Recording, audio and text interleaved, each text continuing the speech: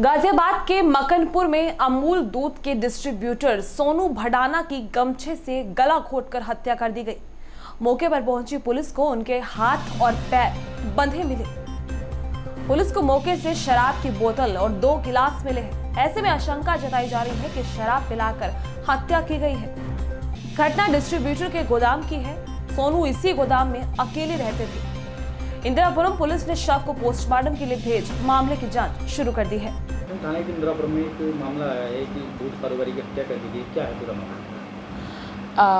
आज सुबह अराउंड चार बजे हमें सूचना मिली कि एक व्यक्ति जो एक दूध कारोबारी के यहाँ काम करते हैं उनकी आ, हत्या कर दी गई है। इस मामले में एफआईआर पंजीकृत कर ली गई है और मौका मुआयना करके आगे की विधिक कार्रवाई प्रचलित है। और उसी के आधार पर आगे कार्रवाई करते हुए शीघ्र शीघ्र गिरफ्तारी की जाएगी।